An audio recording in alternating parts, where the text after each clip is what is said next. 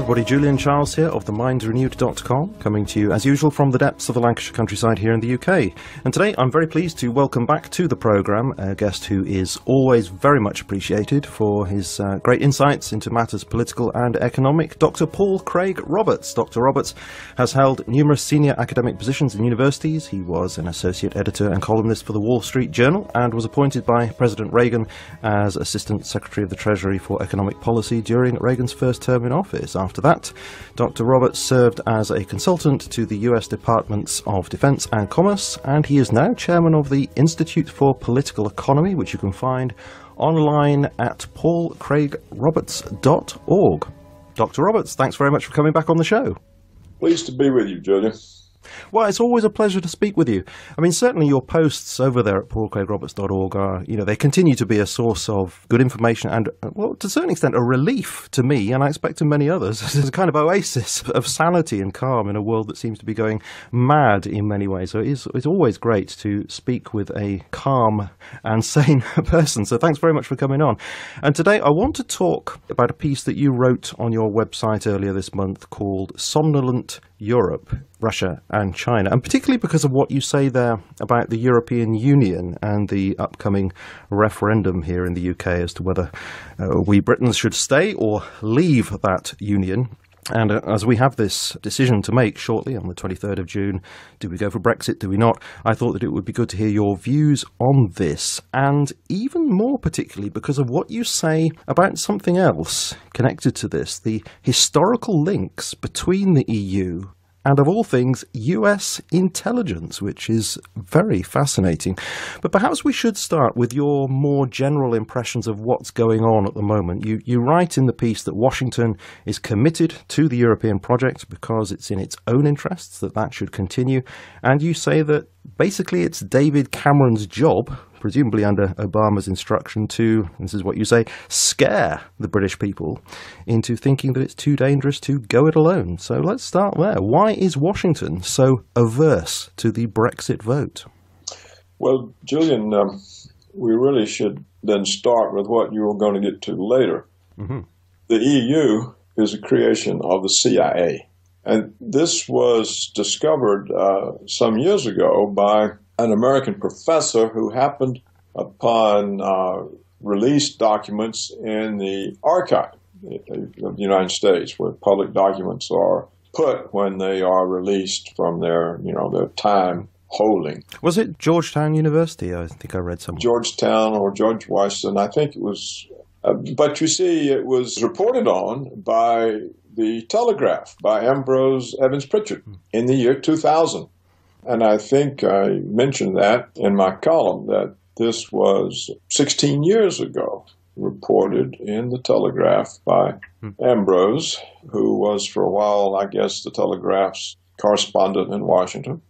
And um, the documents show that the CIA did this, basically organized, orchestrated, lobbied for the creation of the EU for two reasons. One, as a bloc against uh, the Soviets, and two, as enabling Washington's control, because to control all the separate European governments is much more time consuming, demanding, involved than controlling an EU government, especially something with an EU commission that's not accountable. And so Washington set it up in order to have a firm hold on its European empire. And this goes back to, according to Ambrose Evans Pritchard, this goes back to the 1950s and 60s, I understand. Uh, yes, back to the 50s, I think it was. Mm. I don't have my article in front of me, but um, it was a creation of the CIA as a way of enhancing Washington's empire. You know, for Washington to have to go to Italy, to France, to Germany, to the British, uh, negotiate with each of these governments. Are more people you have to bribe or threaten or cajole, and then the countries themselves can uh, increase their demands for what they want in return. Because if one holds out, no deal can be made. Whereas if Europe is dissolved, if the European countries are dissolved into one entity, then Washington only has to deal with one entity. And so this was the origin of the EU for that purpose. It facilitates Washington's control, and that is why Washington has pushed so strongly to put all of Eastern Europe into both the EU and NATO, because otherwise, how many countries are there European? I can't remember the Eastern, the Western, the 28 or 29? I think it's 28, yeah. Yeah, and, and so instead of having to deal with 28 separate governments, uh, Washington can achieve what it wants dealing with the EU. So this this is the origin. And Indeed, it's fascinating. I mean, one of the things that comes to my mind is I've had uh, interviews with Patrick Wood, and uh, he has said things along these lines. I mean, he's very much looking at the work of the Trilateral Commission over the years. And one of the quotes he has in his book, Technocracy Rising, comes from a private conversation with David Rockefeller, which is published by and available for free download from the Trilateral Commission. So I'll link to that. So this is Pat Wood citing the words of David Rockefeller. Quote, uh, back in the early 70s, the hope for a united Europe, and that's all in capital letters, Europe, uh, was already full blown, thanks in many ways to the individual energies previously spent by so many of the Trilateral Commission's earliest members. So yeah. there is a little window into this interest that was there, as you say, going right back to the 1950s. Yeah, it's an American creation, the EU is. It was uh, orchestrated through European individuals and under various pretexts. And it was done in stages, mm-hmm. but it was essentially a CIA operation. And you have to understand this is not what the professor is saying or Ambrose Evans Pritchett is saying. This is what the released CIA documents say. right, yeah. sure. When you actually go to the article that he wrote there in the year 2000, I can see that's what he says here, although he doesn't actually link through to any of those documents. But of course, one could double check on all of that. He points to various memoranda. Um, let me just have a look at a number of things that are said here. One of the memos, this is June the 11th, 1965, advised the Vice President of the EEC, uh, Robert Marjolin, quote, to pursue monetary union by stealth, and it recommends that uh, all debate be suppressed until, quote, the adoption of such proposals would become virtually inescapable. So these are memos from the CIA that are going through there to the Vice President of the EEC. Right. The whole thing was a CIA orchestration used various Europeans mm. for it, mm. and always with some cover or pretext. Um, the documents are publicly available. Once they're released, I don't think they can then be all of a sudden reclassified. Right, so they could be checked up. On, yeah. Yeah, and so all anyone have to do is go to the National Archive and ask for them. Clearly, it's so. It's not something being asserted. It's based on the actual CIA documents. I mean, they admit it. Yeah, and people involved. Um, he actually mentions a number of people. It, it, seems pretty clear this is the case. I mean, he looks at this organization called an American Committee for a United Europe that apparently was created in 1948, and he says it was chock full of intelligence people. Um, the chairman apparently was William J. Donovan, who had been head of the OSS, the uh, Office of Strategic Services, forerunner of the CIA who at the time was apparently, well, ostensibly a private lawyer at the time. The vice chairman was, of all people, Allen Dulles. um, and, the, and, the, board included um, the CIA's first director, and he says a, a roster of ex OSS figures and officials who moved in and out of the CIA. So there it is. yeah, this was uh, clearly done, and it, and it's succeeded because Europe is very firmly under American control.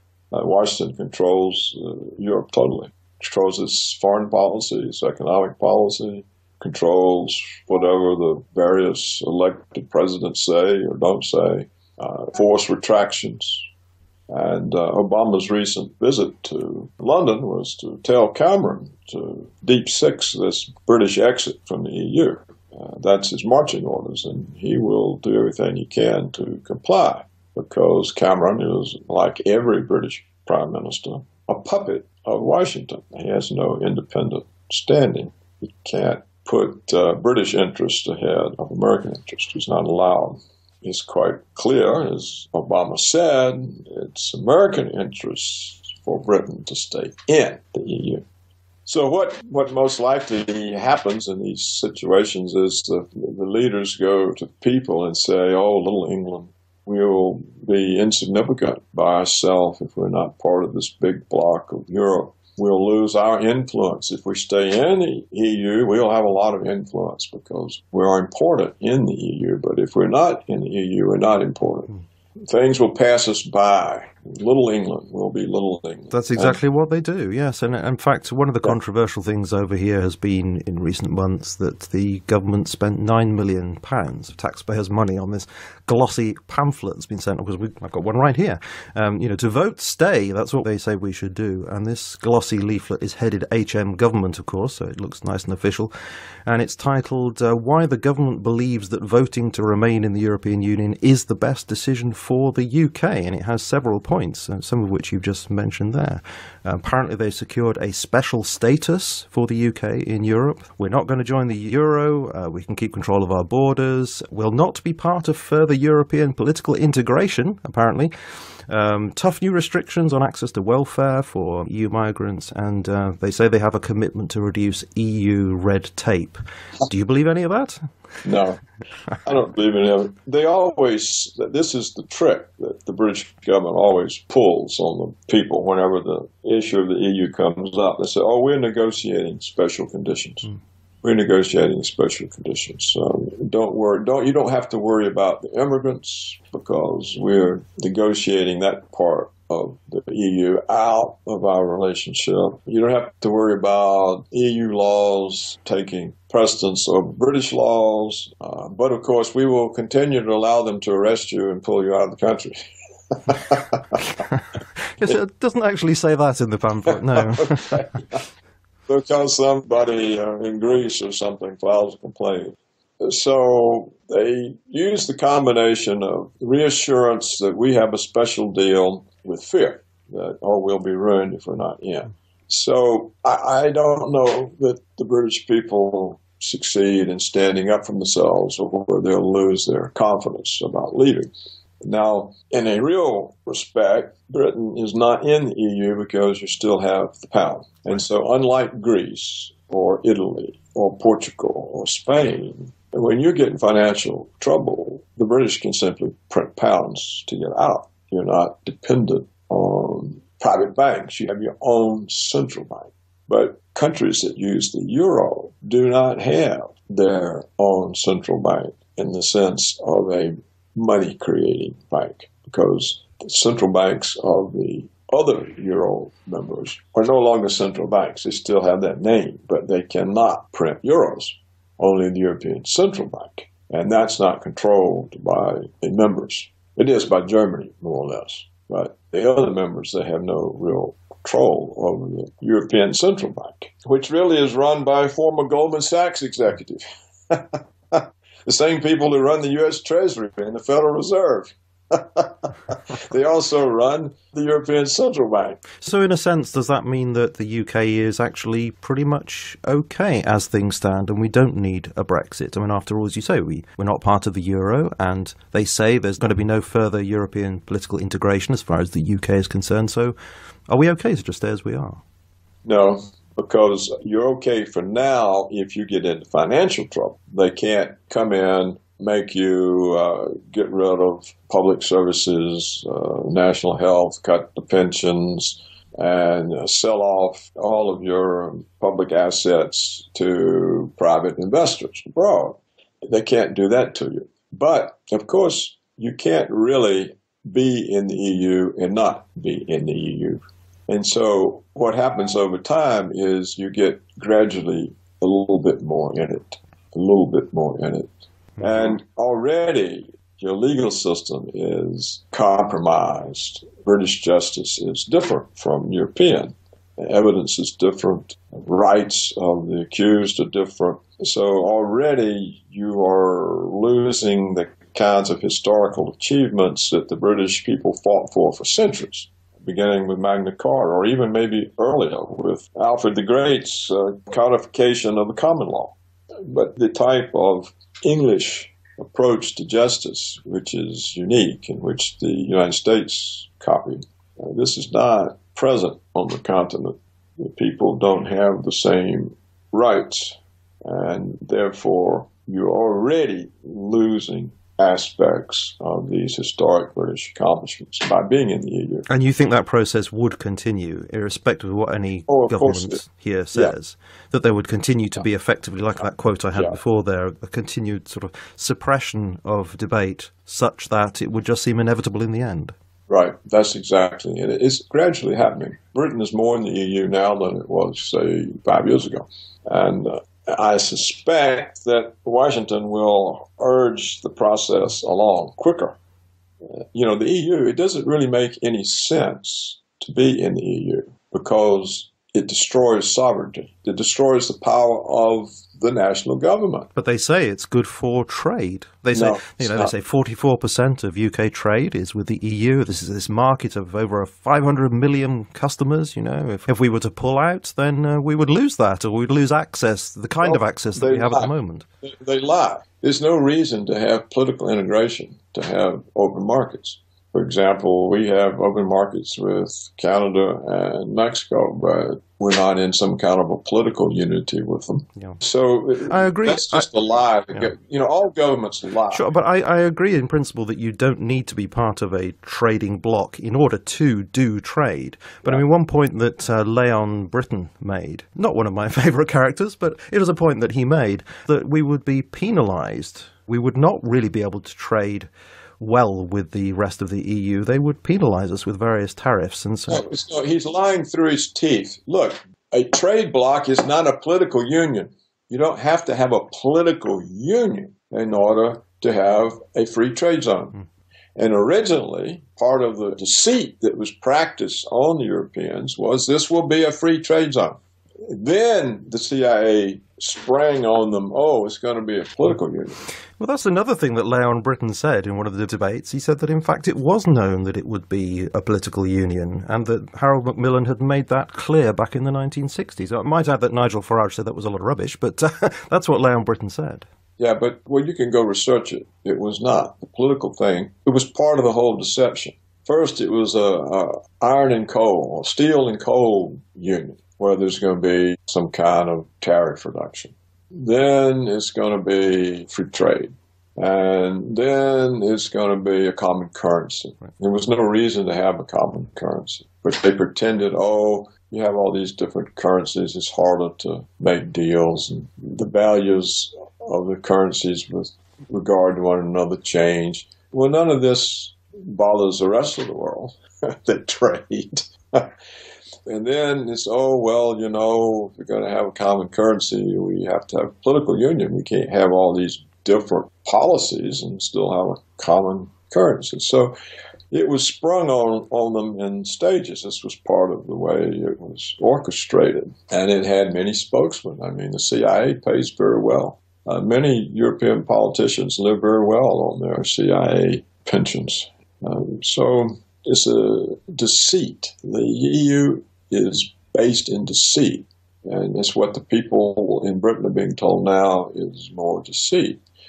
You see, essentially, when the British are absorbed in the EU, they're no longer British. They're no longer a people. So they are disappeared as a people. They become Europeans. But do we not become part of a, an EU democratic entity? It's not democratic, is it? I mean, they, they you can elect people to the parliament, but the commission seems to have the power. And as well as I understand it, the commission's not exactly elected. It's not really accountable. And so it's a form of uh, monarchy. It's like Europe is going back to rule by a ruler. So it's a reversal of history. Not only do the individual nationalities disappear, but the achievements of making government accountable to the people disappear along with them because the EU system is not set up to be accountable to people. It doesn't really matter who gets elected to that EU parliament, it doesn't seem to have any power. Power is in commission, and it doesn't have to be accountable. So there you what you really what what the EU really does, it recreates uh, rule by aristocrats who are not accountable. It is sometimes said, isn't it, that it's the EU Parliament that actually makes decisions and the Commission's role is just to suggest legislation. But that seems to me to be quite a power, actually. I mean, if you have the sole responsibility for bringing things to the table, then you have immense power. Right, it's set up for that. Yeah, it's set up as a dictatorship, mm. and we'll get more so. Look, the United States uh, doesn't have a EU commission, but if we look at the balance of power that currently exists between the executive and the legislative, the legislative is essentially impotent. It's lost all its powers. The government is run by the executive branch. For example, the Constitution says that only Congress can declare war. Well, the executive branch pays no attention to it. Neither does Congress. They just let the power go. They also say that all tax matters uh, originate in the Ways and Means Committee of the House of Representatives, but that's all compromised. Every aspect of the legislature of Congress has been compromised, and the executive branch has gained more and more power. It's really not even accountable any longer to the judiciary. For example, when Bush declared that he was going to detain American citizens indefinitely without due process, this is a complete violation of habeas corpus, which is a constitutionally protected right and one that the judiciary is expected to enforce, and they didn't do anything. And when Obama said, well, you know, I, we're not going to do anything about that, we're actually going to add to it, I've got a list of Americans I'm going to kill based on suspicion alone without due process. And the courts didn't do anything about that. And we know, for example, the executive branch, I'm talking about the United States, practiced torture. And yet torture is strictly illegal under U.S. statutory law, not just illegal under international law, to which the U.S. is a signer, but it's illegal under U.S. federal law. And nothing whatsoever was done about it. It's also strictly illegal under U.S. federal law and under the Constitution for the government to spy on people without warrants. Now, they've been doing this the entirety of the 21st century. Uh, nothing has been done about it. Here, we don't even have the EU structure, which is hierarchical, designed to produce dictatorship. We don't even have that here, but nevertheless, we're moving that direction where the executive branch ignores the separation of powers, ignores the powers of Congress, acts in place of Congress, and the judiciary does nothing whatsoever to enforce the law against the executive branch. So the United States is also moving toward uh, dictatorship. And that's without the dictatorial structure that the EU has. So I think that um, the British should save the whole world by exiting. See, if the British exit, that's going to be the end of the EU. Everybody's going to exit because it's a pain. It's a pain for the domestic politicians who find, you know, if you're Chancellor of Germany, you find your powers compromised by the EU membership. If you're the President of France, you find the same thing uh, they would like to get out. And Britain gives them the case for doing that. So this is the real reason why Obama came over here and, and said that we have this special relationship and we should, right. you know, Britain really should be best for everybody, best for America, best for the UK, and best for America, best for America, yeah. right? It, America doesn't give a damn about Europe. Europe is a vassal territory, is part of the empire, has no independence. Washington wants to keep it that way. And of course, also, if people leave the EU, they're going to leave NATO. And then Washington can't carry on its wars. And it can't risk nuclear war with Russia. It can't use the idiot Europeans to put pressure on Russia. So Washington's drive for world hegemony falls apart. Because, you know, the Europeans have even less interest being in NATO than in the EU. Because what they're finding about being members of NATO is they're being forced into confrontation with Russia. Well, how do they benefit from that? They've already been forced to bust up their economic and diplomatic relations with Russia, and now they're being forced into a conflict situation with Russia. Uh, that's not in any European's interest. I mean, you're not, if a war breaks out with Russia, Europe's finished. It's over with. It'll never exist again. You'll be gone instantly. And this is not in your interest. What grief do you have with Russia? The whole trouble that you have with Russia is because Washington overthrew the elected government in Ukraine, thinking that nothing would happen as a consequence.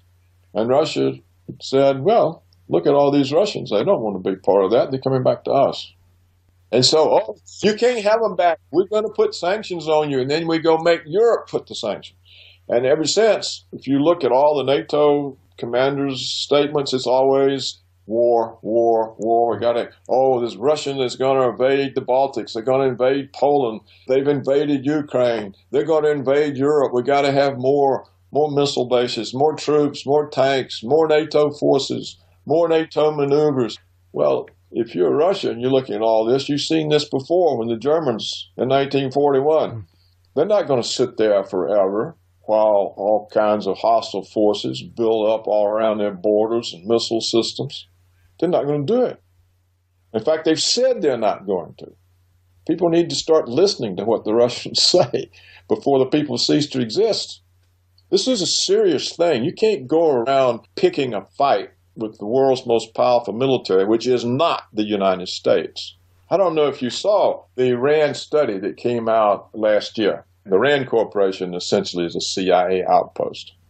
They were tasked with running all kinds of war games between NATO and Russia. And after a year or two or three of studies and war games, this RAND report came out last year and it said if there's war between NATO and Russia, it'll be over with in 60 hours. Russia will simply overrun Europe. It will take them 60 hours, not 60 days.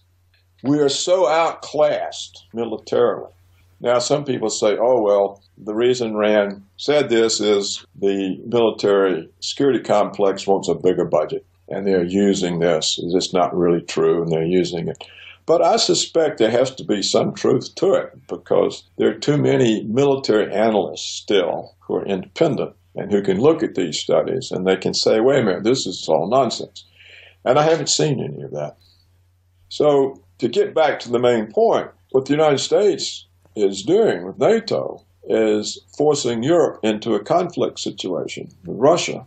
But also, the United States uses NATO as cover for its war crimes which it has committed in Iraq, Libya, Afghanistan, Syria, Yemen, Pakistan, Somalia. Without the NATO cover, this would be naked aggression. You know, people all over the world would be screaming to put the United States government on a Nuremberg war crimes trial. But because of the predominance of the U.S. and Europe, oh, this is some kind of a democratic operation. Look, all these countries support this. So, what the Europeans do, they enable Washington's wars that now producing refugees that are overrunning Europe. That's how stupid the Europeans are. And the British. Stupid. So you see this opportunity for Brexit to be vital and more important vital than what I mean. What the, the, the, what we're normally told, of course, you know, is it's seen from the point of view of British perspective all the time. Will it be good for us? Will it be bad for us? And it's tempting to think along those ways and sort of weigh those up 50 50. But actually, you're saying that it has consequences that reach way beyond because then we could see the EU unravel, we could therefore see NATO unravel, and then many of the problems that you're talking about here would be overcome. Right. You see, what you have to understand is the United States right now is threatening the entire world with nuclear war because they're going to keep on picking a fight with Russia and China, and it's going to be nuclear. We have no possibility of conducting a conventional war against the Russians or against the Chinese, much less both of them simultaneously. Mm. And they now have a strategic alliance. So we are pushing the world toward a nuclear war. And it's the Europeans who enable this. If the Europeans were independent, had independent foreign policies, they would tell the Americans, no, we're not going to be part of this. We got good business relations with Russia. We're making money. We get along with them. They're not threatening us. We don't have any stake in Washington having hegemony over the world. Doesn't do us any good. If you had real leaders in Europe, this is what they'd be saying. But of course, they're all bought and paid for.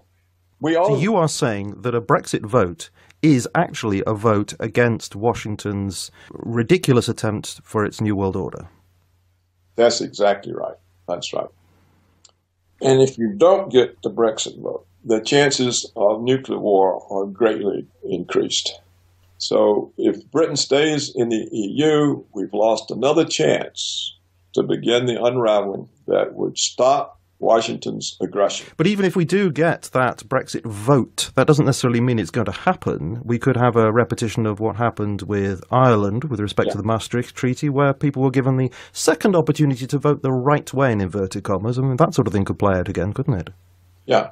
Or the government simply won't accept mm. the vote we already see this happening. I mean, you know, it wasn't long ago that one of your top generals said that if the new Labour leader is elected prime minister, we're not going to allow him to take office. He plead national security. So yes. Respect, respect, for democracy in the West is gone. It's dead.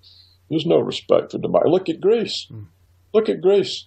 There's no respect for any democracy. The government's doing the opposite of what people want. And allegedly, it's a left wing socialist government. Look at France doing the opposite of what the people want. You know, the people are all in the streets.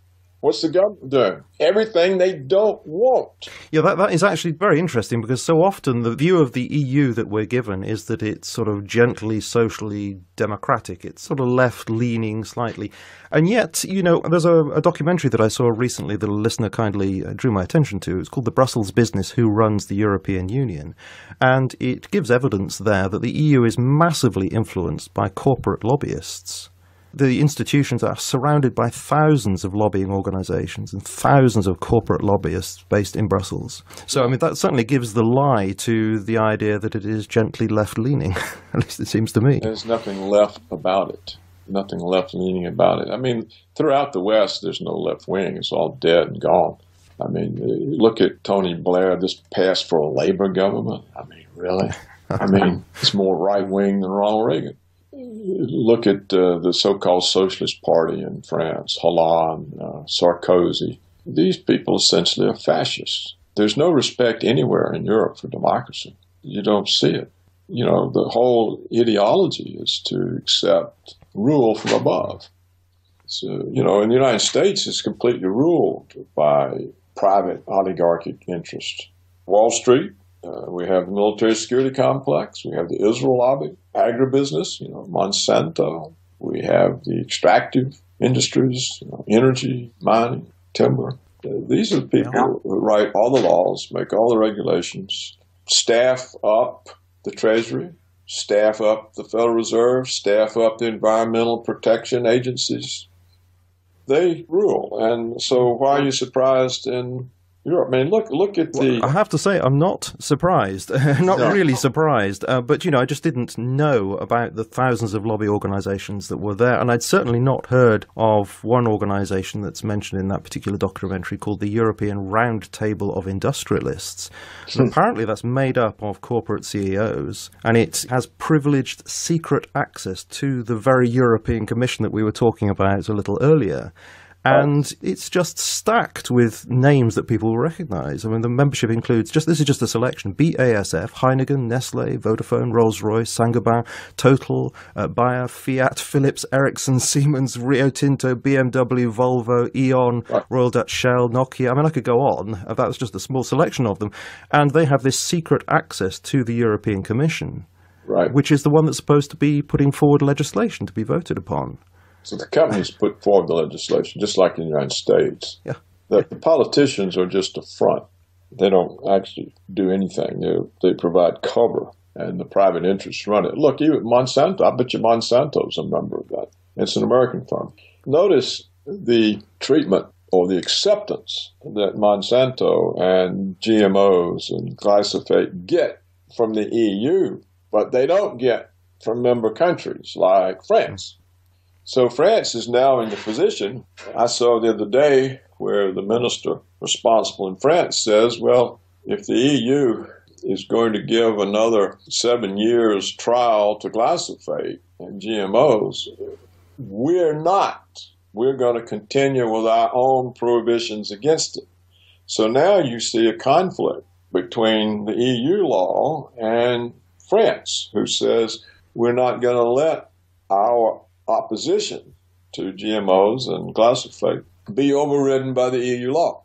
So these kinds of conflicts will get worse, but because the CIA is running the show, the individual governments are going to lose. So, would you say then that ultimately the CIA and uh, other such organisations are behind the push for things like TTIP? Because I mean, if if TTIP sure. goes through, then what you've just been talking about, GMO and glyphosate, uh, people are just not, not going to be able to know that these things are in their food supplies. They're not going to be able to label anything, that sort of thing. Well, if that partnership goes through, what it does is it means Monsanto can sue France for the loss of revenues it would have earned if France did not have laws against GMOs. Mm. And the suit takes place not in courts of France, but in a corporate tribunal in which only corporations make the decision. And so all of these laws can be overturned by the corporation. So can any sort of health or safety regulation because this gets in the way of profits. In fact, I'm convinced they can even use it to get rid of taxation. What will happen in Britain, there will be these American medical care organizations, private, will come in and force the national health to get out of the way. Otherwise, they're interfering yeah. with their profits. Well, we we, so, we, we, have talked about this. Well, we talked about the trade in services proposals, and um, we, we talked about there there are these various assurances that are given which don't seem to be worth the paper they're written on. um, no, the assurances oh. are lies. They're lies. Everything the government says is a lie. Try to think of anything the government has said in your lifetime that's true or believable. Every uh, time I'll have a go, but I don't think we've got time for me to sit and think. Um, but, but, but, presumably, then again, we would have to say that a vote for Brexit will be the end of something like TTIP as well. Yeah. Because if it ends the EU, then there's no bloc to negotiate with. That's right. That's right. See, the British people would be doing the whole world and themselves a massive favor. It would block the corporate takeover of Europe. It would block the American use of Europe to create hostility with Russia, and thereby it would greatly uh, remove the threat of war.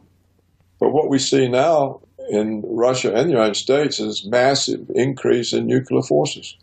Everything that Reagan and Gorbachev accomplished has been overturned by Washington.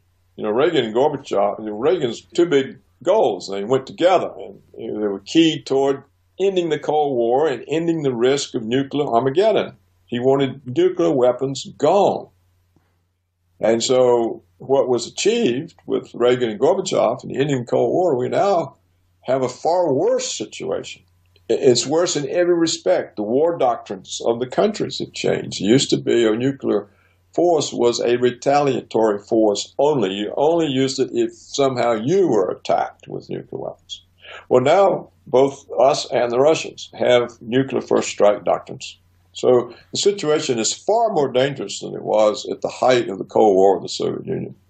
And not only that, during the Cold War, American presidents and administrations made every kind of effort to be on good terms. They weren't demonizing the Soviet Union all day long. They didn't stand up and say uh, Khrushchev was the new Hitler like a likely future president has declared about Putin. Uh, they weren't making all kinds of false claims about Soviet invasions. They weren't telling lies every time they opened their mouth. They made every kind of effort to keep things stable. And Reagan said, We're tired of just trying to keep them stable. We've got to end this. There's too much risk. Something can go wrong. It's stupid that we're taking this risk and we have to end this. Well, now all these risks are back and they're multiplied. And if the British lose their nerve and vote to stay in, then that's just going to encourage Washington more. They're going to say, "See, we've got them. We've got the whole world. We're going to go ahead and push harder." But the problem is, you see, none of what you've been talking about is made clear to the British people. It's all presented in terms of is it good for the pound? Is it good for jobs? Can we trade with the rest of the world effectively? Will we be shut out of EU markets, etc.? And none of what you've just painted there is clarified to us at all. I know. I know. That's why I'm mm, saying yeah. But because we are sheltered from much of the reality of this situation, then the propaganda that we're bombarded with is having an effect. When I look at the uh, Financial Times poll of polls, which takes averages of many of the polls out there, I mean, if we're to trust that at all, um, it shows that back in 2013 there were many more people thinking of voting to leave but since then, um, in 2015, there were more stay votes, and now, now there's a kind of a, an, uncertainty uh, oscillating back and forth. But it's worryingly close, and I. I'm very suspicious that, in fact, people will lose their nerve at the last minute because uh, oh, sure we're will. constantly being told we mustn't vote for uncertainty. It's an uncertain future if we pull out of EU, and people like that feeling of you know of things being certain, and we like the familiar, and I think that's being played on in a big way. Sure, you're absolutely correct. Mm. And so the consequence is that England will disappear, the British will disappear, their justice system will disappear, and the conflicts with Russia will uh, intensify and it'll end in war, and Europe simply will no longer exist in any form. And in fact, neither will the United States. And that's where we're headed all the lies and propaganda that's being used against the judgment of the people to warp their judgment, to make them distrusted, to make them say, oh, well, it's all I hear is we'll lose. Why they believe anything the press says is a mystery to me. I mean, I, don't, I can't understand why any sentient human anywhere in the Western world would believe anything that the press says because it's nothing but propaganda and lies. Look, we had a couple of years ago, the German editor of the big German newspaper, he said, Look, I'm a CIA agent. They hand me the stories that we print. This is true, he said, for every major news source throughout Europe. He didn't make this up. He published it. In a book. Ulfkotter or something like that. He says, remember? sue me. Mm-hmm. He says, sue me. Go ahead, mm. sue me. Mm. No one sues him. It's true in England you don't have any independent press. You see, I think the problem is that still too few people realize that this is the case. People generally still do trust institutions that are familiar sounding to them. And so we're getting this argument that the economic case has made that we should stay in the EU, and the IMF thinks so, uh, the Bank of England thinks so. And so people listen to those names and think, oh, well, you know, the people who really know know what the score is. Therefore, well, what do we know about it? We must just trust these very famous names that are telling us that we should not pull out of the EU. And yet, you know, somebody like the Tory MP, very bright chap Daniel Hannan, says that, well, if we look at Europe, in fact, we've shackled ourselves to a corpse, he says and we should have arrangements much more like Norway and Switzerland, which have these nice association agreements. They're allowed to trade with who they like. They have the benefit of EU trade, but they have this freedom. Yeah. Um, why are we shackled in this old-fashioned way that's based upon the sort of 1970s mentality when you know the UK was the sick man of Europe and looking across to what it thought was a, a better future for itself, uh, being linked to the continent? This is an old way of thinking, and he says in this day we've got the internet. You know, international flight is so much more available available, we can trade with who we like across the world. And yet, we have these august institutions telling us this is the way it is. And because people are so familiar with those institutions and haven't learnt to distrust those institutions, they're listening to what they're saying. And my fear is that they won't think for themselves on this. Well, you're right, they won't. Propaganda generally prevails because of repetition. Hmm. But in actual fact, the British people don't know what the Bank of England thinks. Uh, because if the Bank of England thinks that it's a bad idea to be in the EU, they're not going to say it. They wouldn't be permitted to say it. Right. And you're going to stay in the EU because that's where Washington wants you. It doesn't matter how you vote. You can vote 100% to exit. You won't be allowed to. You really think that's the case? Washington will say no. So we've got this 13% or something of the electorate that are wondering, shall I, shall I not? They're undecided. So if they decide for Brexit, you're saying it doesn't make any difference anyway. Just making Washington won't permit it. Or what will happen if you leave, then all of a sudden there's a massive attack on the pound. You know, Goldman Sachs will order the European Central Bank with the Japanese Central Bank. They're our puppets. They do what we tell them. Uh, the Federal Reserve will gang up, will drive the pound down to nothing and then would say, see, see, this was caused by you leaving the EU. We didn't have anything to do with it. None of these central banks had anything to do with it. No, no, this There's no confidence in Britain. See, you've left the EU, there's no confidence, and then the government will say, well, we got to go back in. So this is a kind of economic false flag attack, you're saying? Yeah, oh yeah. It'll be a massive attack. They won't admit they're doing it, and they'll say, okay, we told you not to exit, everybody's lost confidence in the pound, and uh, everybody will be screaming, "Oh, we're ruined, we're ruined," and, and, and all the papers will say, "See, you stupid people, you didn't listen to us, and look what's happened." And government has to take us back instantly. We'll all starve to death. Okay, well, if that's the case, I mean, that then is a very negative scenario that you're painting. Surely you're not therefore saying, well, don't bother to vote, because surely there must be some point in actually voting for Brexit. It must flag up the issues, surely. It must register with everybody that there is this dissatisfaction with the EU, and that in itself must be a good thing, don't you think? Well, I think that what it would do, it might encourage some other members who don't have their own currency. Mm. Greece or Italy or Spain or Portugal, they don't face an attack on their currency to bring them in line like Britain does because they don't have a currency. They only have the euro. Uh-huh. And clearly, the central banks aren't going to destroy the euro because that doesn't do them any good in bringing Greece or Spain or whoever back into the EU. Right. Okay. So it would embolden other people. Yeah. Mm-hmm. So if if the Greeks, for example, who are being driven into the ground, if they say, "Look, the British voted to get out, and they had to get back in because they have their own currency and it fell under attack. We don't have a currency, but why don't we vote to get out?" Yeah. If the British could vote to get out, we could do that too. So it, it would be good in that sense. It would start the prospects of people actually voting to leave would take hold. There's a lot of reasons for people to vote to leave, especially for the Greeks, mm. for the Portuguese, for the Italians, for the Spanish, possibly even the French. In that case, if it were to unravel from the, as it were, the poorer end of Europe, would you see it less as a, a collapse of the EU, as a sort of a redefinition of the EU, so that it would just be perhaps the richer group separating off and letting the others go?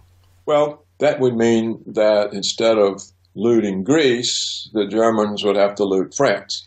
See, Greece is being looted. The, the debt issue is used to loot Greece. Hmm. They're forced to turn over all of their public assets to private foreign investors.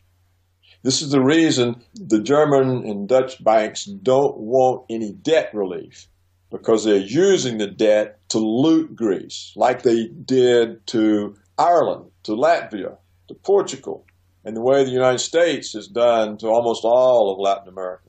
You use debt to loot the countries. And that's what's happening to Greece. They're being looted. I mean, it's really severe. And so they've got no reason to be in there. And they're just intimidated. But if the British people voted to leave, they would say, hell, we could do that too. And we don't have a currency to fall under attack. So you see the strength that the British have of being in the EU with their own currency means that as long as they're in the EU and have their own currency, they can't be looted because debt can't be used to force them to turn over all their assets to the Germans or somebody. But it makes them impossible to leave because the, their currency is then exposed to attack and can be destroyed. And so the strength becomes a weakness. Whereas for the lesser countries with no currency, it's a strength. It's easier for them to get out. Mm. Can I ask you, going back to Daniel Hannan's comment that the EU is stagnant, stagnating, um, do you think in some way it could always have been the intention of Washington that Europe be ineffective in economic terms? Because I just wonder that if there was the freedom of individual European nations to form trade associations with whoever they wanted to in the world, then arguably Europe might be economically stronger and so perhaps present greater competition for Washington. I don't know. I don't know about that. That's a speculative okay. thing. I have no way of knowing. No. All I do know is that Washington wanted the EU for control reasons.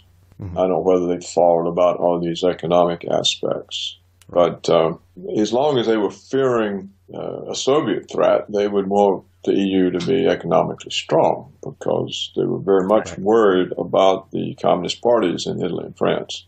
Yeah. And this is why Washington created Operation Gladio, hmm. where the CIA and various European intelligence agencies would go around bombing train stations in Europe, particularly in Italy, and kill a lot of people. And then they blame these mythical creations, Red Brigades, the Baader-Meinhof. These were all CIA fronts, so they would have somebody to blame for the bombs the CIA was setting off.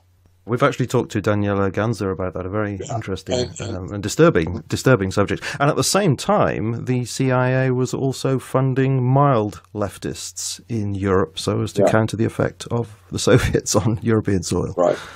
So it's a very weird situation indeed. Right. So they would want they would have wanted a strong Europe at least at that time. Uh, yeah. Right now, it's part of. You, you see, when the Soviet Union collapsed, that's when the neoconservative goal of American world hegemony really came to the fore. Not just having a European and Asian empire, but look, the only thing in our way, the Soviet Union is gone. So we can now have the whole world as our empire. So the collapse of the Soviet Union is what unleashed this hegemonic demon that now threatens the world with nuclear annihilation.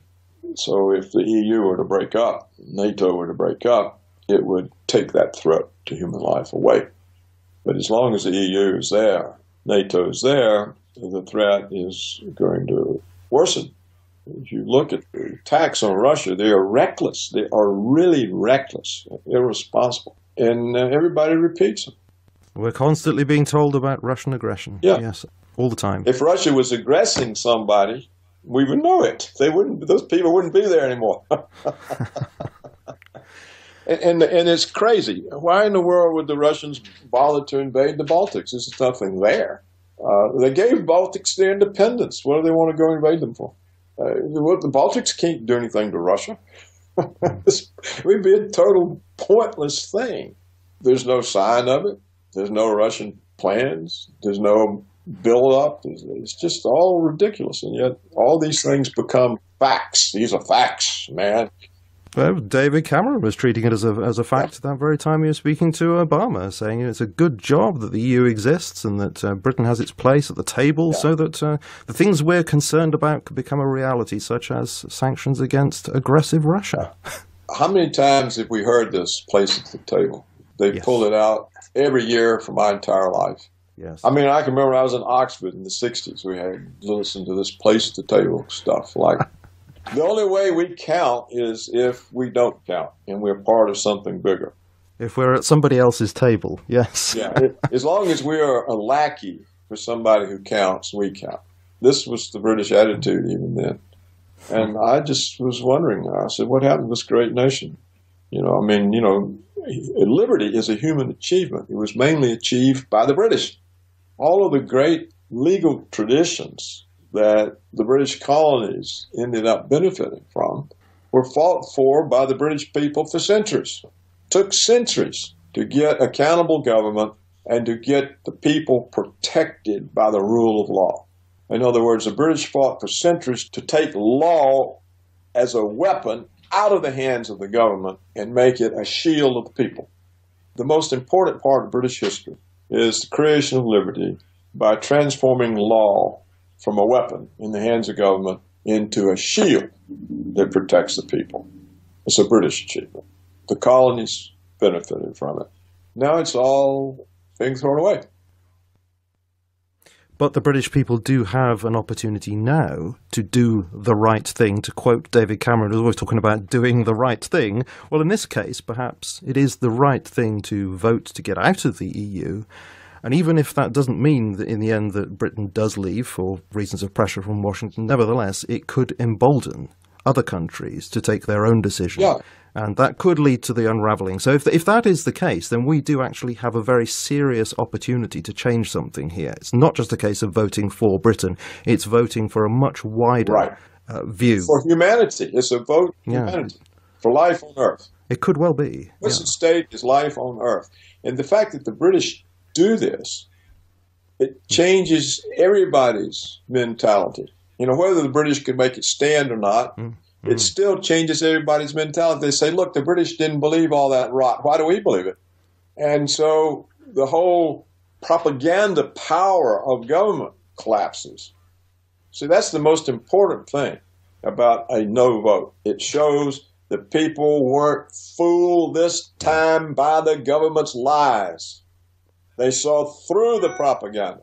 That's the important thing.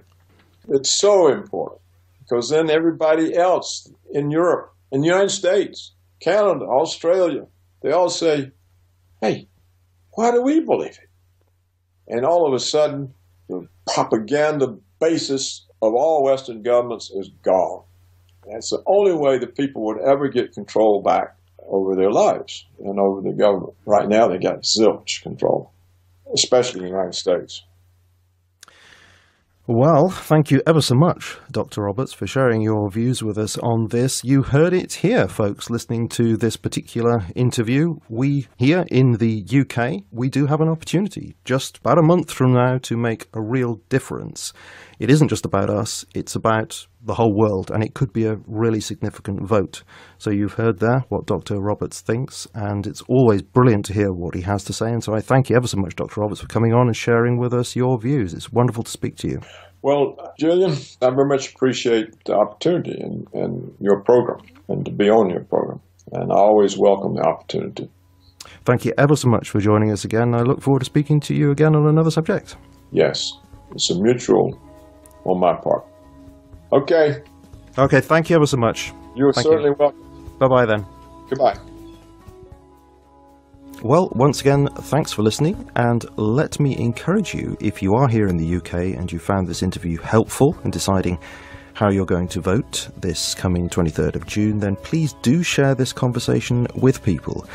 As you know, I rarely ask for support in that way because, well, basically because I don't like blowing my own trumpet. But in cases like this, where the information is, I think, really important, not because of my contribution, but because of the contribution of my guest, then I feel I'm justified in asking. Please do share this conversation around on social media by word of mouth, whoever you can do it especially if you are here in the UK or you have contacts with people in the UK, because as Dr. Robert says, we have an opportunity here.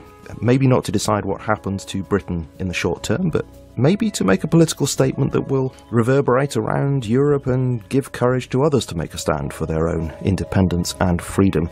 And maybe that will have an effect that will be good for us all. So please do share this around and, and please do vote if you're here. This is an opportunity. It's not perfect. Of course, it's not a perfect state of affairs, but it is an opportunity. So let's make use of what we have.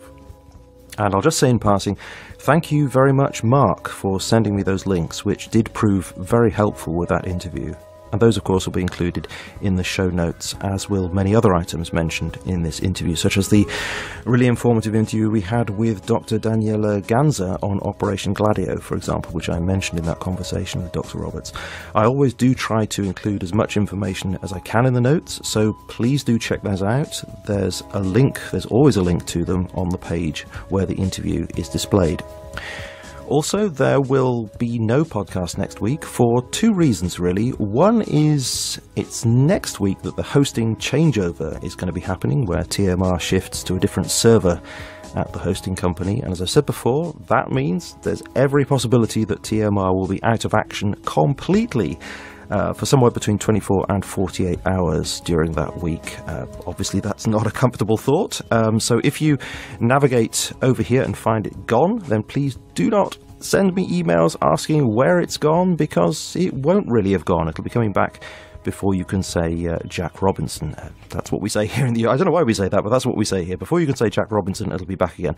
But of course, um, I want to monitor the situation, and I don't want the hassle of putting out a show just as really weird things are happening to the site. And the second thing is, it's half term now, and we have a ton of redecorating to do now that the plastering has all been done following our flood. So we're going to be spending the next week uh, buttoned up in overalls and slapping paint on the walls, uh, which is not something I'm terribly familiar with. So I'm uh, going to be taking a break from the podcast for the next week, and as I say, monitoring what's going on with the website. But in the following week, we will be speaking again with Reverend Dr. Robert Bennett, this time about his new book, Afraid, which looks at the issue of spiritual oppression in the US today, which is a kind of sequel to his field research book on Madagascan spiritualities, which we discussed with him before. And in the following week, we'll be speaking again with Tom Gailey for the third in our short series of interviews inspired by his book, America's Post Christian Apocalypse which I again encourage you to get. So, once again, please do share this interview around. There's not long to go, and I would love as many people as possible to hear what Dr. Roberts has to say.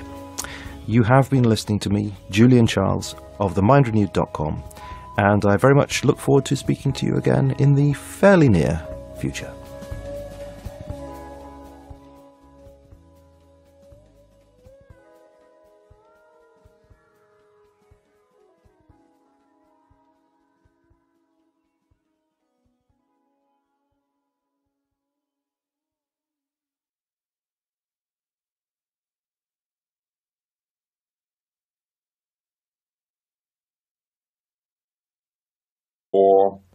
Creation of the EU for two reasons. One, as a bloc against uh, the Soviets, and two, as enabling Washington's control.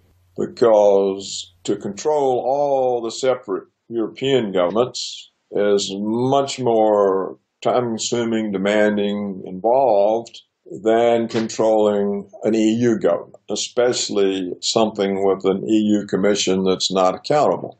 And so Washington set it up in order to have a firm hold on its European empire. And this goes back to, according to Ambrose Evans Pritchard, this goes back to the 1950s and 60s, I understand. Uh, yes, back to the 50s, I think it was. Mm.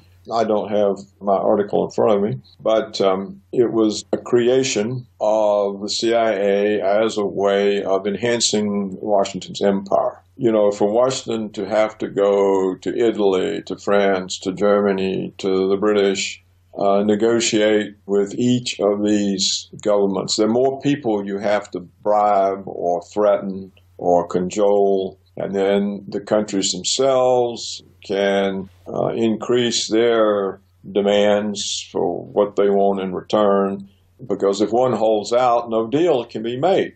Whereas if Europe is dissolved, if the European countries are dissolved into one entity, then Washington only has to do with one entity. And so this was the origin of the EU for that purpose. It facilitates Washington's control. And that is why Washington has pushed so strongly to put all of Eastern Europe. Miranda, um, let me just have a look at a number of things that are said here. One of the memos, this is June the 11th, 1965, advised the Vice President of the EEC, uh, Robert Marjolin, quote, to pursue monetary union by stealth, and it recommends that uh, all debate be suppressed until, quote, the adoption of such proposals will become virtually inescapable. So these are memos from the CIA that are going through there to the Vice President of the EEC. Right. The whole thing was a CIA orchestration they used various Europeans mm. for it, mm. and always with some cover or pretext. Um, the documents are publicly available. Once they're released, I don't think they can then be all of a sudden reclassified. Right, so they could be checked up on, yeah. Yeah, and so all anyone have to do is go to the National Archive and ask for them. Clearly, it's so. It's not something being asserted. It's based on the actual CIA documents. I mean, they admit it. Yeah, and people involved. Um, he actually mentions a number of people. It, it, seems pretty clear this is the case. I mean, he looks at this organization called an American Committee for a United Europe that apparently was created in 1948, and he says it was chock full of intelligence people. Um, the chairman apparently was William J. Donovan, who had been head of the OSS, the uh, Office of Strategic Services, forerunner of the CIA who at the time was apparently, well, ostensibly a private lawyer at the time. The vice chairman was, of all people, Allen Dulles. the Um, and, the, and, the, board included um, the CIA's first director, and he says a, a roster of ex OSS figures and officials who moved in and out of the CIA. So there it is. yeah, this was uh, clearly done, and and it's more particularly because of what you say about something else connected to this: the historical links between the EU and of all things, US intelligence, which is very fascinating. But perhaps we should start with your more general impressions of what's going on at the moment. You, you write in the piece that Washington is committed to the European project because it's in its own interests that that should continue. And you say that basically it's David Cameron's job presumably under Obama's instruction to, this is what you say, scare the British people into thinking that it's too dangerous to go it alone. So let's start there. Why is Washington so averse to the Brexit vote? Well, Julian, um, we really should then start with what you were going to get to later. Mm-hmm. The EU is a creation of the CIA. And this was discovered uh, some years ago by an American professor who happened upon uh, released documents in the archive of the United States, where public documents are put when they are released from their, you know, their time holding. Was it Georgetown University? I think I read somewhere. Georgetown or George Washington. I think it was. Uh, but you see, it was reported on by the Telegraph by Ambrose Evans Pritchard in the year 2000. And I think I mentioned that in my column that this was 16 years ago, reported in the Telegraph by hmm. Ambrose, who was for a while, I guess, the Telegraph's correspondent in Washington. And um, the documents show that the CIA did this, basically organized, orchestrated, lobbied for into both the EU and NATO because Otherwise, uh, how many countries are there European? I can't remember the Eastern, the Western, the 28 or 29? I think it's 28, yeah. Yeah. And, and so instead of having to deal with 28 separate governments, uh, Washington can achieve what it wants dealing with the EU. So this this is the origin. And Indeed, it's fascinating. I mean, one of the things that comes to my mind is I've had uh, interviews with Patrick Wood, and uh, he has said things along these lines. I mean, he's very much looking at the work of the Trilateral Commission over the years. And one of the quotes he has in his book, Technocracy Rising, comes from a private conversation with David Rockefeller, which is published by and available for free download from the Trilateral Commission. So I'll link to that. So this is Pat Wood citing the words of David Rockefeller. Quote, uh, back in the early 70s, the hope for a united Europe, and that's all in capital letters, Europe, uh, was already full blown, thanks in many ways to the individual energies previously spent by so many of the Trilateral Commission's earliest members. So yeah. there is a little window into this interest that was there, as you say, going right back to the 1950s. Yeah, it's an American creation, the EU is. It was uh, orchestrated through European individuals and under various pretexts. And it was done in stages, mm-hmm. but it was essentially a CIA operation. And you have to understand this is not what the professor is saying or Ambrose Evans Pritchard is saying. This is what the released CIA documents say. right, yeah. Sure. When you actually go to the article that he wrote there in the year 2000, I can see that's what he says here, although he doesn't actually link through to any of those documents. But of course, one could double check on all of that. But he points to various memoranda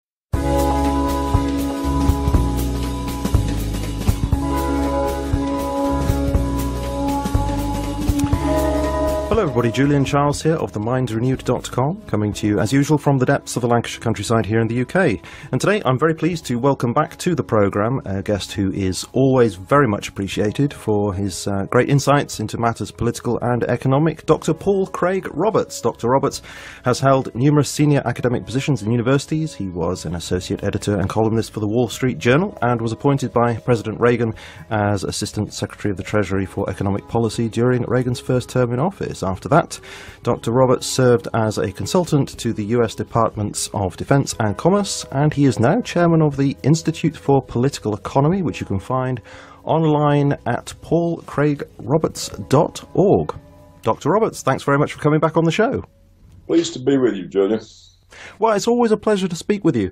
I mean, certainly your posts over there at paulcraigroberts.org are, you know, they continue to be a source of good information and, uh, well, to a certain extent, a relief to me, and I expect to many others. It's a kind of oasis of sanity and calm in a world that seems to be going mad in many ways. So it is, it's always great to speak with a calm and sane person. So thanks very much for coming on.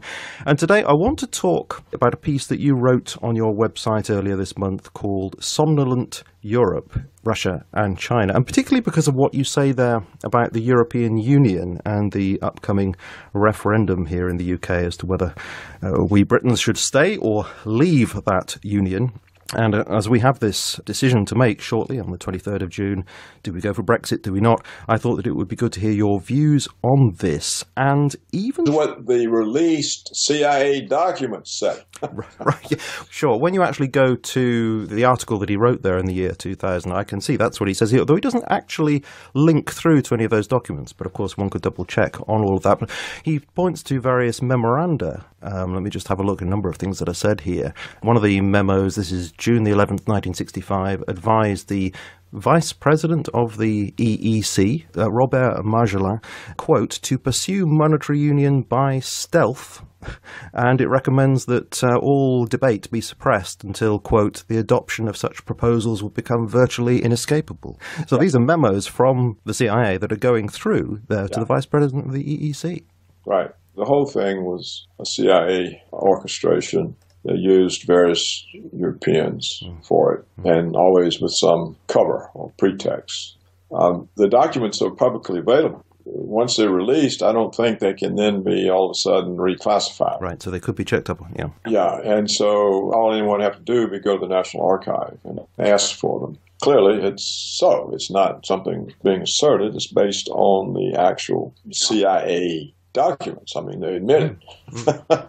Yeah, and people involved. Um, he actually mentions a number of people. It, it, seems pretty clear this is the case. I mean, he looks at this organization called an American Committee for a United Europe that apparently was created in 1948, and he says it was chock full of intelligence people. Um, the chairman apparently was William J. Donovan, who had been head of the OSS, the uh, Office of Strategic Services, forerunner of the CIA who at the time was apparently, well, ostensibly a private lawyer at the time. The vice chairman was, of all people, Allen Dulles.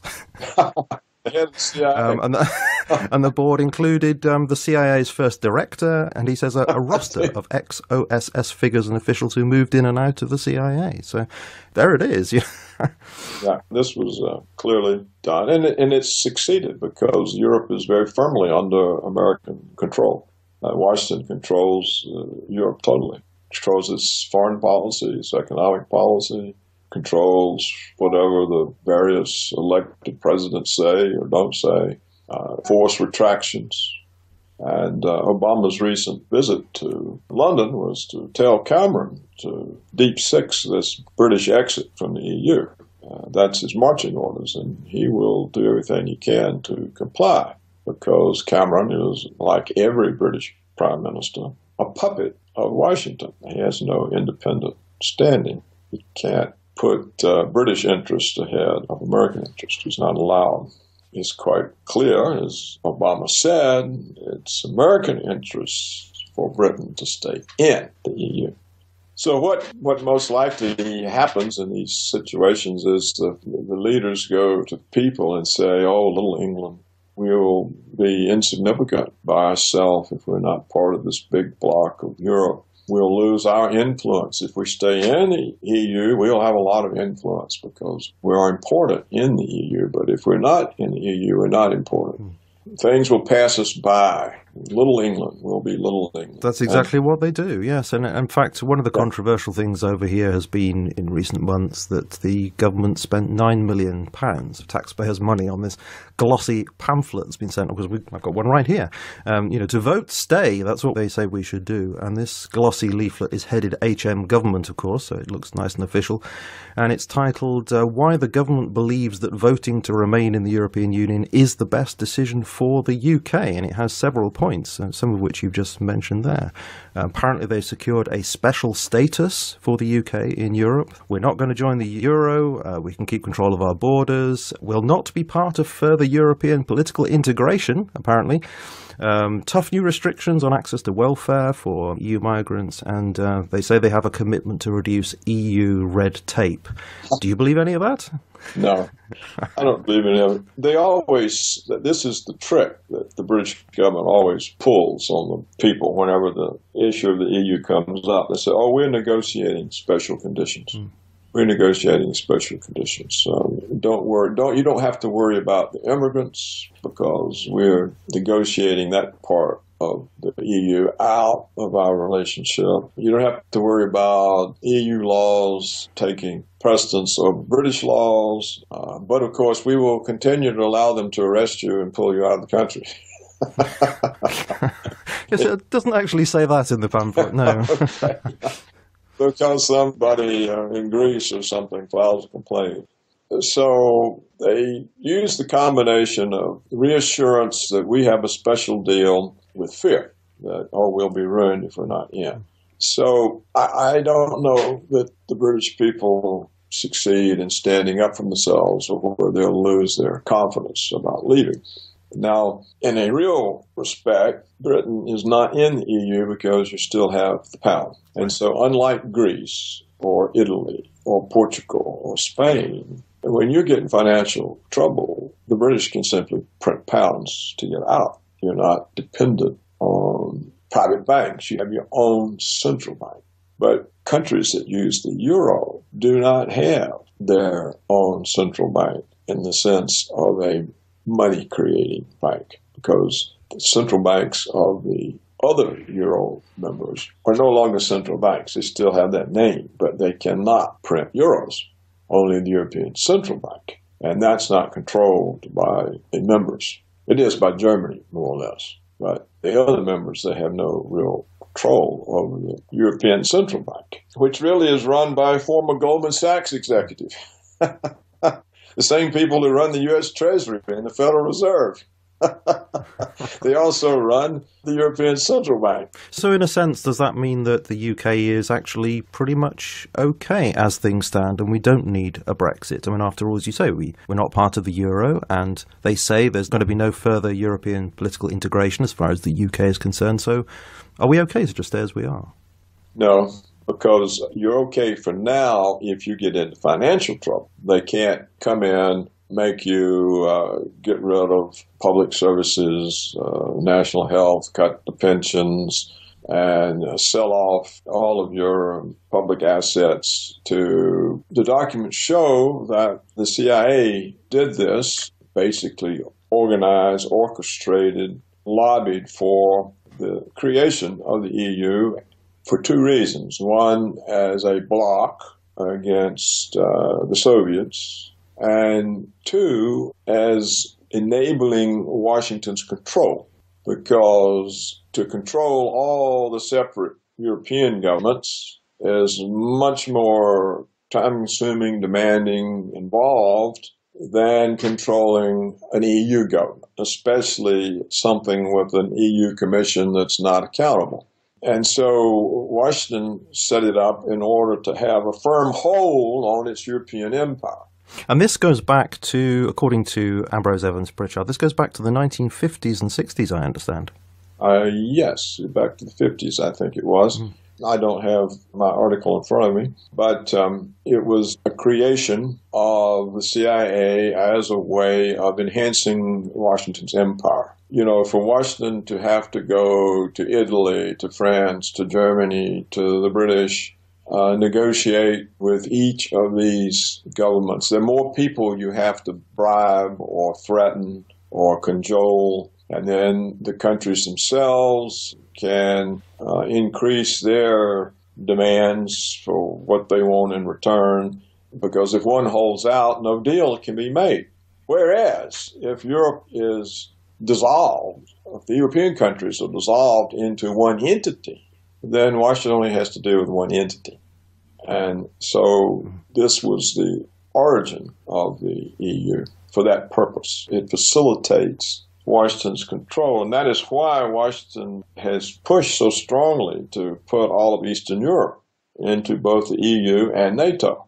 Because otherwise, how many countries are there, European? I can't remember the Eastern, the Western, the 28 or 29? I think it's 28, yeah. Yeah. And, and so instead of having to deal with 28 separate governments, uh, Washington can achieve what it wants dealing with the EU.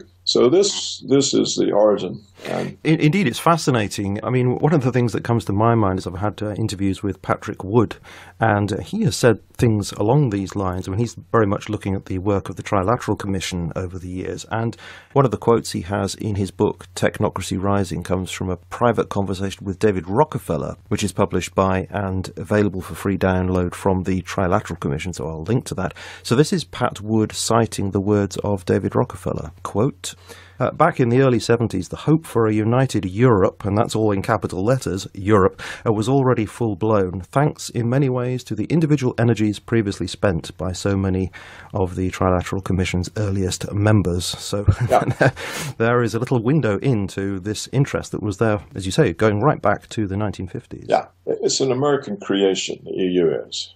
It was uh, orchestrated through European individuals and under various pretexts. And it was done in stages, mm-hmm. but it was essentially a CIA operation. And you have to understand this is not what the professor is saying or Ambrose Evans Pritchard is saying. This is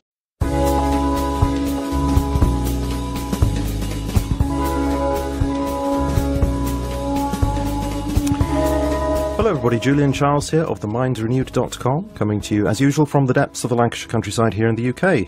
And today I'm very pleased to welcome back to the programme a guest who is always very much appreciated for his uh, great insights into matters political and economic, Dr. Paul Craig Roberts. Dr. Roberts has held numerous senior academic positions in universities. He was an associate editor and columnist for the Wall Street Journal and was appointed by President Reagan as Assistant Secretary of the Treasury for Economic Policy during Reagan's first term in office. After that, Dr. Roberts served as a consultant to the US Departments of Defense and Commerce, and he is now chairman of the Institute for Political Economy, which you can find online at paulcraigroberts.org.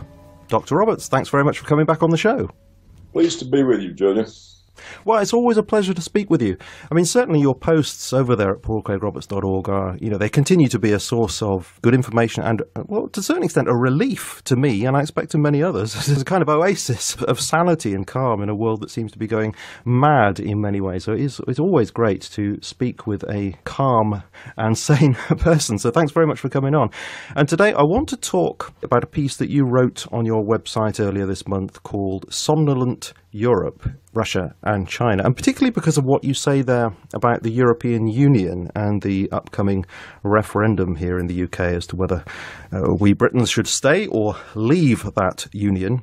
And uh, as we have this decision to make shortly on the 23rd of June, do we go for Brexit? Do we not? I thought that it would be good to hear your views on this, and even more particularly because of what you say about something else connected to this the historical links between the EU and of all things, US intelligence, which is very fascinating. But perhaps we should start with your more general impressions of what's going on at the moment. You, you write in the piece that Washington is committed to the European project because it's in its own interests that that should continue, and you say that basically it's David Cameron's job presumably under Obama's instruction to, this is what you say, scare the British people into thinking that it's too dangerous to go it alone. So let's start there. Why is Washington so averse to the Brexit vote? Well, Julian, um, we really should then start with what you were going to get to later. Mm-hmm. The EU is a creation of the CIA. And this was discovered uh, some years ago by an American professor who happened upon uh, released documents in the archive of the United States, where public documents are put when they are released from their, you know, their time holding. Was it Georgetown University? I think I read somewhere. Georgetown or George Washington. I think it was. Uh, but you see, it was reported on by the Telegraph by Ambrose Evans Pritchard in the year 2000.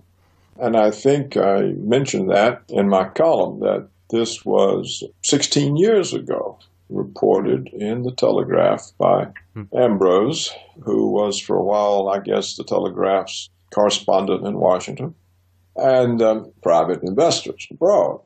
They can't do that to you. But, of course, you can't really be in the EU and not be in the EU.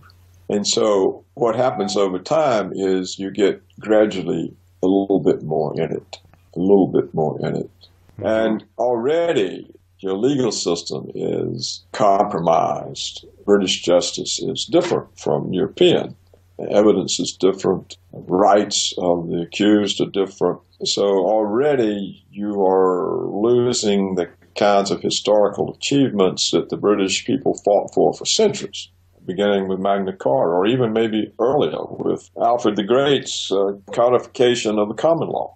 But the type of English approach to justice, which is unique and which the United States copied, uh, this is not present on the continent. The people don't have the same rights, and therefore you're already losing aspects of these historic British accomplishments by being in the EU. And you think that process would continue, irrespective of what any oh, government here says, yeah. that there would continue to be effectively, like that quote I had yeah. before there, a continued sort of suppression of debate such that it would just seem inevitable in the end? Right, that's exactly it. It's gradually happening. Britain is more in the EU now than it was, say, five years ago. And uh, I suspect that Washington will urge the process along quicker.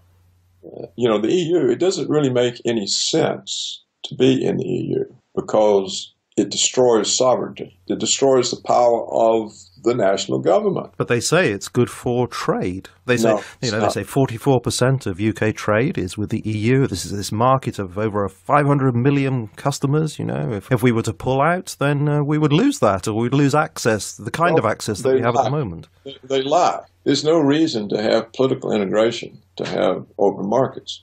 For example, we have open markets with Canada and Mexico, but we're not in some kind of a political unity with them. Yeah. So I agree. That's just I, a lie. Yeah. You know, all governments lie. Sure, but I, I agree in principle that you don't need to be part of a trading bloc in order to do trade. But yeah. I mean, one point that uh, Leon Brittan made, not one of my favorite characters, but it was a point that he made that we would be penalized. We would not really be able to trade well with the rest of the EU, they would penalise us with various tariffs. And so, no, so he's lying through his teeth. Look, a trade bloc is not a political union. You don't have to have a political union in order to have a free trade zone. Mm. And originally, part of the deceit that was practiced on the Europeans was this will be a free trade zone. Then the CIA sprang on them, oh, it's going to be a political union. Well, that's another thing that Leon Brittan said in one of the debates. He said that, in fact, it was known that it would be a political union, and that Harold Macmillan had made that clear back in the 1960s. I might add that Nigel Farage said that was a lot of rubbish, but uh, that's what Leon Brittan said. Yeah, but well, you can go research it. It was not a political thing. It was part of the whole deception. First, it was a, a iron and coal, or steel and coal union, where there's going to be some kind